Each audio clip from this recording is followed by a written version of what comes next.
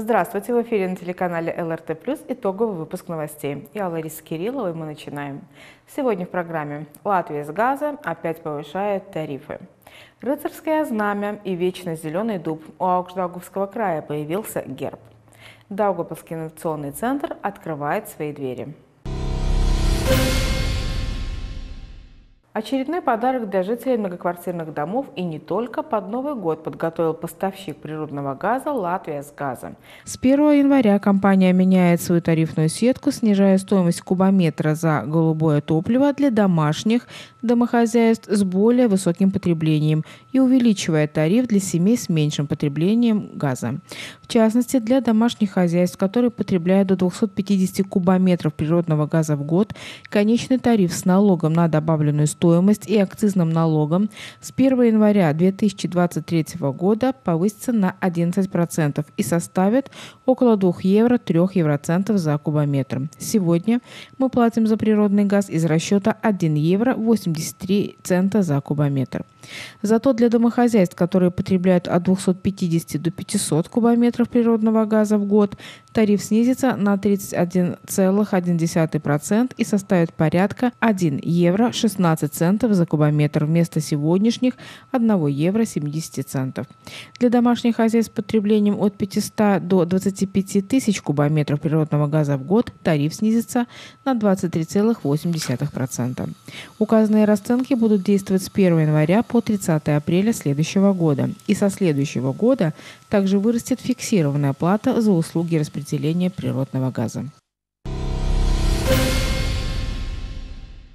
1 июля 2021 года на административно-территориальной карте Латвии появилось новое самоуправление Аугждаговский край, который объединил в себе бывшие Даугавпилский и Иловский края. Соответственно, стал вопрос о создании нового герба нового самоуправления. Жители Латгалии и Селии настаивали на том, чтобы в новом гербе были бы сохранены фрагменты прежних геральдических знаков. Что из этого получилось, об этом далее.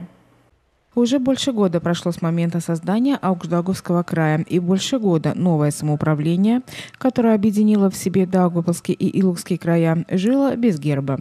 Кто-то скажет, невелика беда, но на самом деле герб – это не просто дань традиции или чья-то прихоть.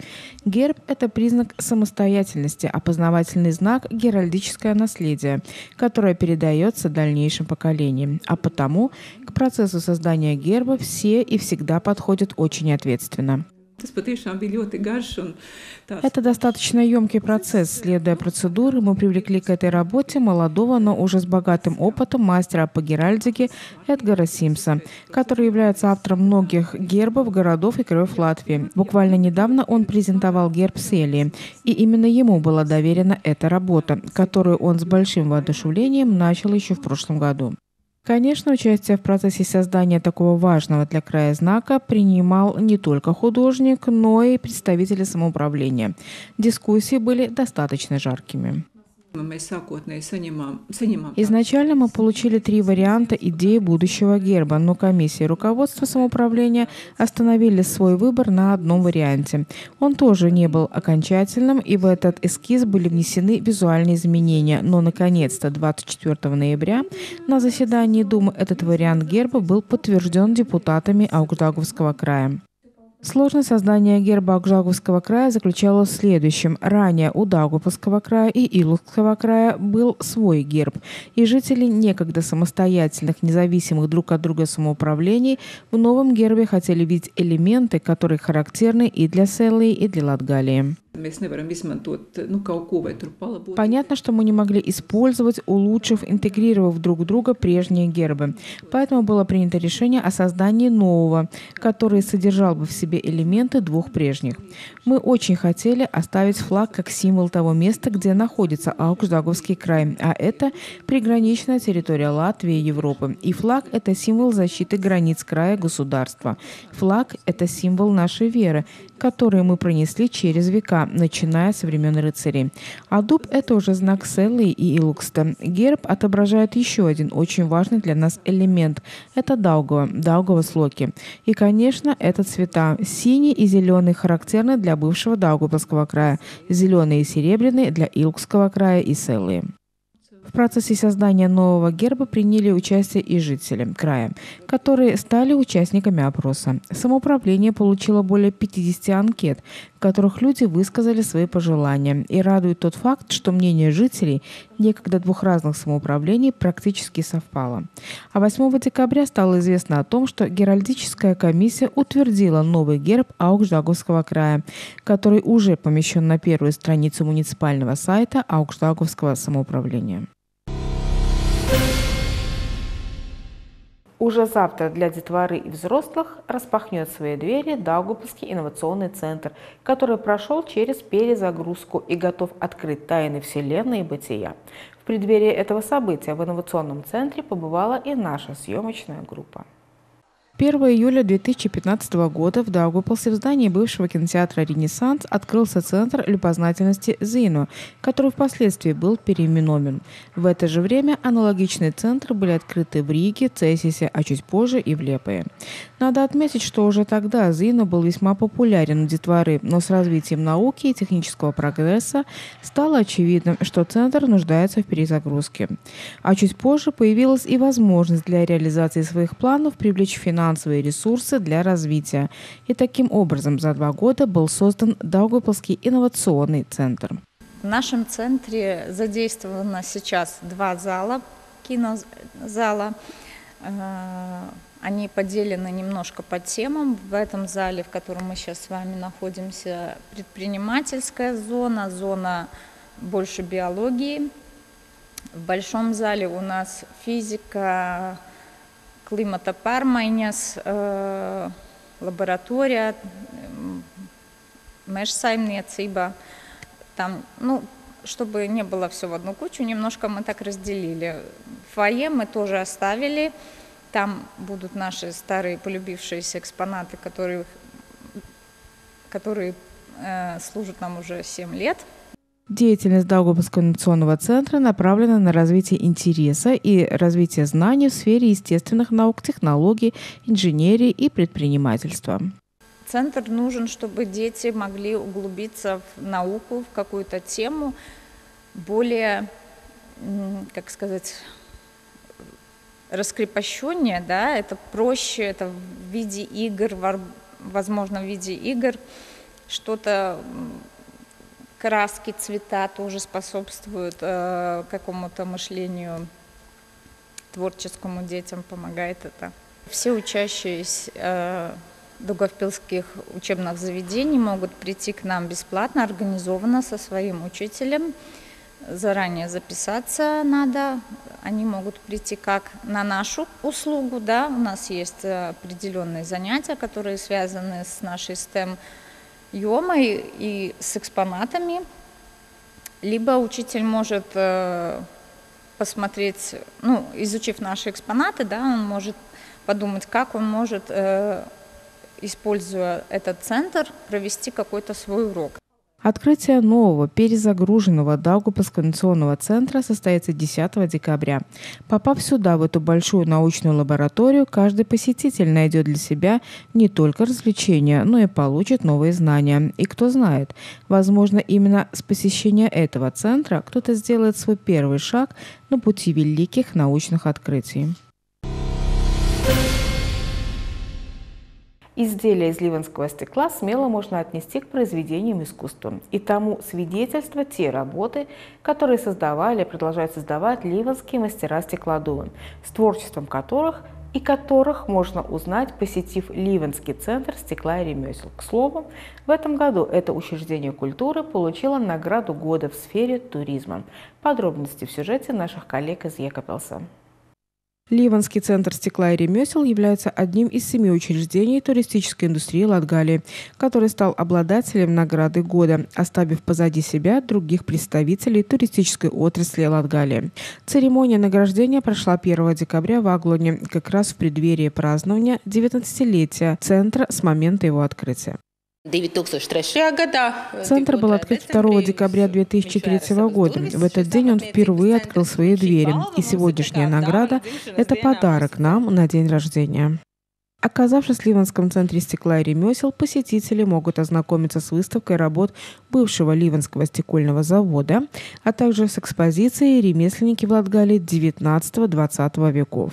Конечно, внимание туристов приковано и к работе стеклодувов, и к их мастерской, где можно воочию понаблюдать за процессом создания изделия стекла под руководством опытного мастера по стеклу Александра Логвина. В центре расположена постоянная выставка работ художника Стеклодува. Здесь же реализуются многочисленные проекты и мероприятия. Так, 18 ноября проект «Чувство стекла» завершился открытием нового вернисажа котором Александр Логвинш в изделиях из стекла воплотил творческие идеи десяти латвийских и литовских художников. Ежегодно мы привлекаем почти 10 тысяч посетителей. Мы входим в топ-10 в Латгалии и в топ-5 самых посещаемых объектов в Ливанском крае. Мы самая большая туристическая достопримечательность Ливаны, за что и получили высокую оценку от наших коллег. Конечно, мы этому очень рады. Для справки, Ливанский стекольный завод, прекративший свою работу 14 лет назад, был крупнейшим предприятием по производству изделий из стекла в странах Балтии. И хотя легендарного предприятия больше не существует, пламя в печах Ливанского центра стекла и ремесел горит почти каждый день. Декабрь – это самое горячее время для латвийской почты. Латвийцы отправляют письма, поздравительные открытки, а также посылки в надежде на то, что в том числе и сладкие подарки родные получат своевременно. В то же самое время люди надеются, что и они получат от своих близких праздничную посылку аккурат к праздникам. Правда, чтобы ее получить, следует задекларировать ее. Об этом далее. Кто из нас не любит получать подарки? Конечно, любим, особенно если тебе его прислали с другого конца земли. Но получая такую посылку из стран, не входящих в Европейский Союз, в том числе и из Великобритании и Норвегии, не забудьте ее задекларировать. Правда, налоги нужно платить только в том случае, если стоимость посылки превышает 45 евро. Если общая стоимость подарка не превышает 45 евро, налог платить не нужно, но это только при условии, что отправитель частное лицо и посылка не имеет статуса коммерческой. В этом случае задекларировать посылку все равно придется. Итак, если стоимость посылки варьируется от 45 до 150 евро, то получателю придется заплатить только налог на добавочную стоимость. Если стоимость стоимость подарочной посылки свыше 150 евро, придется платить как налог на добавленную стоимость, так и таможенный налог. Подать декларацию в СГД можно самостоятельно через систему электронного декларирования СГД или возложить эту обязанность на почтового оператора. Обращаем ваше внимание, если отправитель посылки, который живет в Великобритании, в графе «Вид посылки» отметит не подарок, а другое, то посылку классифицируют как коммерческую, и получателю придется заплатить налоги с полной стоимости посылки и от стоимости доставки. Заполняя декларацию, на подарочную посылку стоимость доставки учитывать не нужно. Нужно указать только стоимость товара в посылке, а ячейка «Стоимость доставки» должна остаться пустой. Предрождественская пора – это время, когда каждому из нас следует остановиться и подумать о тех, кто находится рядом с нами и в поле зрения нашего внимания не попадает вообще.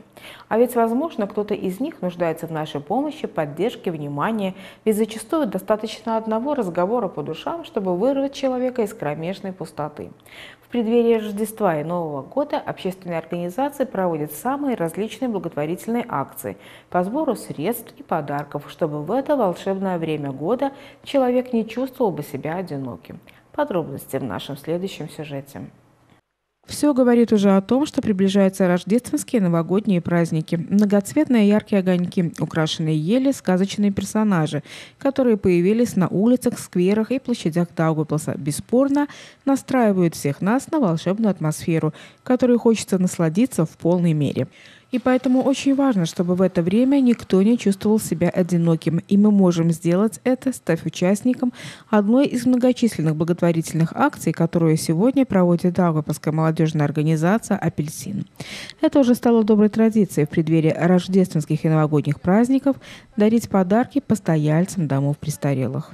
В подарок, в принципе, вы можете положить все то же самое, что и своим близким. Да? Человек из пансионата никак не отличается от вашего родного человека. Это могут быть сладости, теплые вещи, какие-то средства гигиены, что-то связано с Рождеством. У нас также есть люди, которые написали, что им нужно конкретно там обувь, спортивные вещи. Это тоже все можно дарить. Главное условие, что это должно быть новое, так как это все-таки подарок. Да, но вы можете порадовать тем же, чем вы радуете своих близких. Екатерина рассказывает, что сама идея благотворительной акции была заимствована. Но разве это важно, когда речь идет о благом начинании? Началось все с такой вселатвийской акции «Энгелю Пастс», а, мы увидели, что есть такая возможность подарить подарок конкретному пенсионеру, выбрать и отправить. А, посмотрели. По итогу мы поняли, что мы сами можем не только одному, но и всему пансионату, потому что их желания на самом деле очень скромные. И так и получилось, что мы с девочками с организацией обсудили, решили собирать, люди откликнулись. И сейчас мы просто ну, уже не можем это так остановить, потому что даже когда мы еще не объявили, нам уже звонили и спрашивали, ну что, когда, что можно жертвовать, куда вы едете. С каждым годом число тех, кто получит новогодний подарок, увеличивается. Так и в этом году планируется собрать 305 презентов. Успех зависит от каждого из нас. До этого примерно так и было, 250-200 человек. Просто каждый год мы добавляем по пансионату, и так получается, что ну, увеличивается число этих людей. Просто делать добро – это хорошо. Сбор подарков будет проходить в Даугавпилсе в магазине Риме на улице Цветокшня, 72А, который расположен возле Даугавпилского олимпийского центра в течение нескольких дней. Так, 10 и 11 декабря с 11 до 14 часов, 16 декабря с 16 до 19 часов, а 17 и 18 декабря с 11 до 14 часов.